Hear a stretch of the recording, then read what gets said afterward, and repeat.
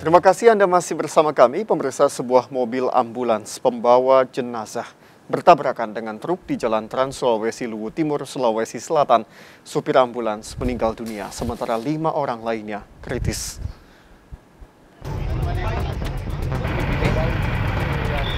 Mobil ambulans ini ringsek setelah terlibat tabrakan dengan truk dari arah berlawanan di Jalan Trans Sulawesi Luwu Timur, Sulawesi Selatan.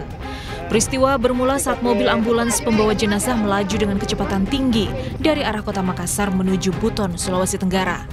Diduga akibat sempitnya jalan dan kurangnya penerangan, ambulans bertabrakan dengan truk. Kerasnya benturan membuat ambulans ringsek tak berbentuk. Sopir ambulans tewas dan lima penumpang ambulans luka parah dan kritis. Sementara sopir truk juga mengalami luka namun langsung menyerahkan diri ke kepolisian.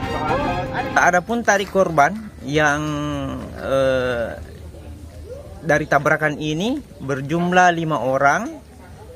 Ada sopir yang membawa mobil jenazah dan juga empat korban yang semuanya berada di mobil jenazah. Jenazah dalam mobil ambulans telah dievakuasi menuju rumah sakit. Dari Luwu Timur, Sulawesi Selatan, Nasruddin Rubak, Ainus melaporkan.